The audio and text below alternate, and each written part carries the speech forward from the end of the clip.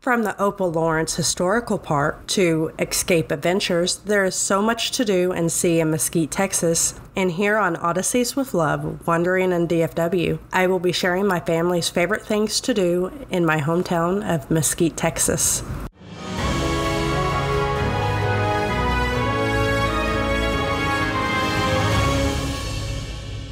Hey everyone, it's Megan with Odysseys with Love, and as a Mesquite local for the past 33 years, I have a little bit of insight on everything there is to do in our hometown that I grew up in.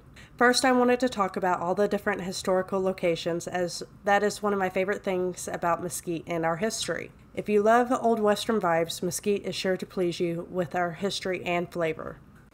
Our first stop is at Opal Lawrence Historical Park, which was featured on our blog, which you can visit in the link in the description of this episode.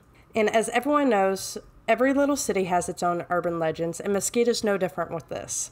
Growing up, I always heard about Frank and Jesse James visiting the Opal Lawrence home, and even using the tower section as a lookout, and then left the Lawrence family a white horse as a gift. But I do have to say that the Lawrence family does dispute this. The historical park is located near Old Mesquite at 701 East Kearney Street.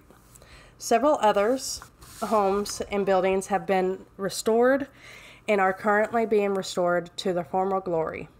The park is open from Tuesday through Friday from 10:30 a.m. to 3:30 p.m. The next stop on this list is the Florence Ranch Homestead, located on the opposite side of Mesquite.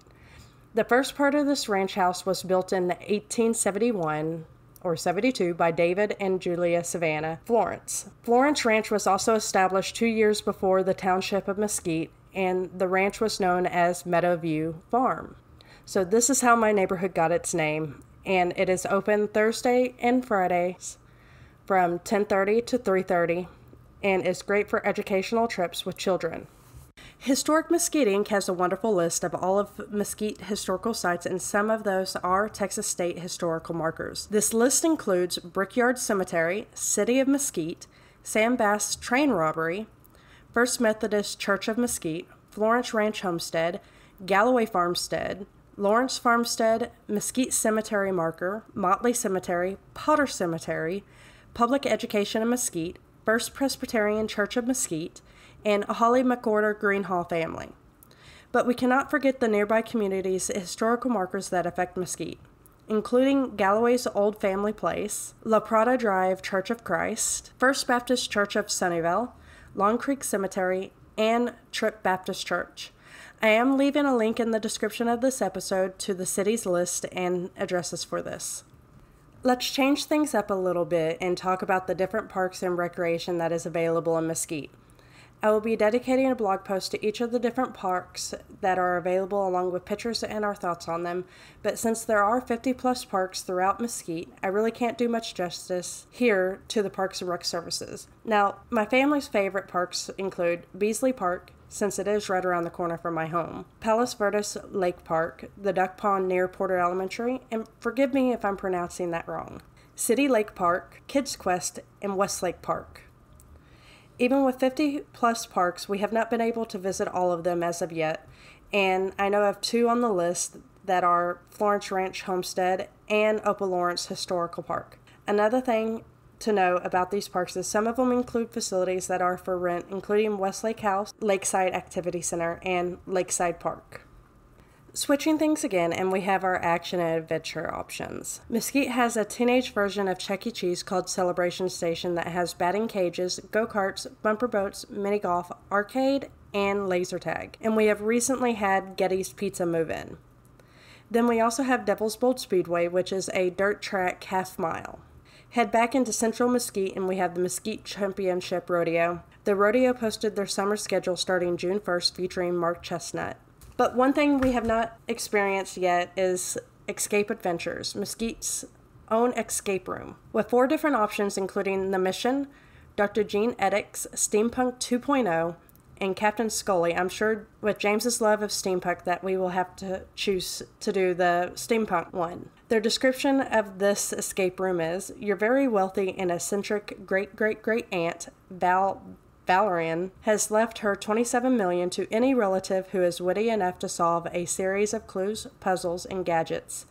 built by Nikola Tesla himself. She died July 27, 1914, and four generations have failed the test. Now it's your family's turn to earn the money. Can you successfully acquire her last will and testament? Or will you leave empty handed like the generations before? This seems like a lot of fun that myself and James would enjoy. Since this is the first of our Mesquite travel guide, we will be featuring here in the near future different restaurants located in Mesquite, as we have had several of them from mom and pop diners to chain restaurants like Red Lobster and Razzoos.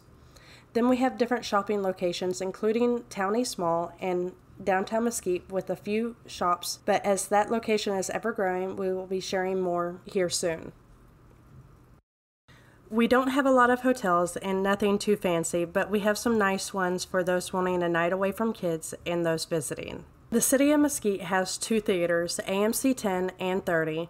The AMC 10 is our dollar theater and is great for a quick outing, and 30 is the bigger theater that plays recent releases. I grew up heading to AMC 10 when it was Starplex to be dropped off and hang out with friends as a teen. We also have two skating rinks, one which was my first job, golf clubs, and more. I wanted to end this on a little more history as it's one of my favorite places to take my own photography clients. But it deserves a little more talk about its history, and hopefully one day someone will bring it back to its glory. But Samuell's Farm. As you pull into the parking lot of this historical little park, you are greeted by a large tractor. After finding a parking space that is never any problem, don't head towards the house in the visitor center as that has been closed for years. There is a gate over on the left side of the building. Head on in and you will find a few different walking paths and a decent sized playground. But you will also see a big red barn that has always been a favorite with photography clients. A older horse barn that seems to be wasting away, and a home that is blocked off and a few fishing ponds. Back when I was a child, this was an educational facility that schools and families would go to learn about farm life. There was also horseback riding at one point on the property. But all of this is gone now. I do have to say that this park is not technically Mesquite, as it is owned by Dallas, and there is some old tale behind that. See, Samuell's farm was owned by Dr. William Samuell and was gifted to the city of Dallas in his will when he died in 1937. The words in the will have started a 70 plus year long battle. Real estate is City Dallas Park Board for park purposes, not to be sold, to Park Board as permanent foundation. When the city receives this, it made Dallas one of the richest park systems in the country at the time. What makes me want to cry is this park land should be worth 250 million today, but is worth less than when Dr. Samuell died at only 5.6 million. There is a lot of history and information on this at D Magazine, which I will link in the description below. That was published back in August 2009. I hope you enjoyed today's episode here on Odysseys with Love. Don't forget to subscribe and give us a share with your family and friends. We are also on Facebook, Instagram, Twitter, Pinterest, and more.